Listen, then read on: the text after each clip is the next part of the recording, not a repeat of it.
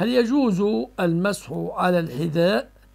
إذا كان الحذاء يغطي الكعبين فيجري مجرى الخف أما إذا كان دون الكعبين فلا يجوز المسح عليه وبالله التوفيق.